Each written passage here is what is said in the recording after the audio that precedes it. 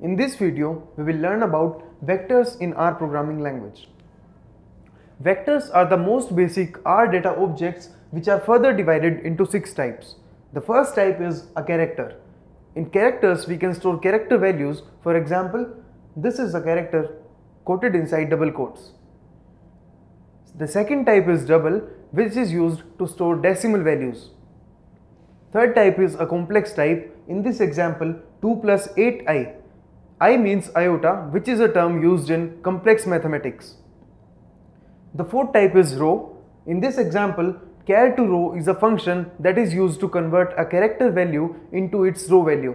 In this example, we are converting the value VAL to its raw value.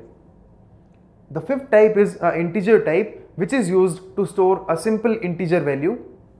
And the last type is a logical type which is used to store boolean values that is it can store true or false. Now we will practically see how to create and modify vectors using our predefined functions. In the first line, we have written a print statement inside which we have declared an atomic vector of type character. Any value within double quotes is a string and this is of type character. In the second line, we have a vector of type double and we have printed this value that is 12.5. Similarly, in the third line, we have printed an integer type of value. Fourth line is a boolean type of value. Fifth one is a complex type of value. As we have discussed in our presentation that I stands for iota that is a complex mathematical function. And last one is a raw value which we have printed using char to raw function. Now let us see the output of all these statements. The output of first line of code is ABC. The output of second one is 12.5. The output of third is 63. The output of fourth one is true. The output of fifth statement is 2 plus 3 iota. And the output of character to raw value is 68, 65, 6C, 6C, 6F. Now let us see the operations that we can perform on vectors. First, we are creating two vectors with values.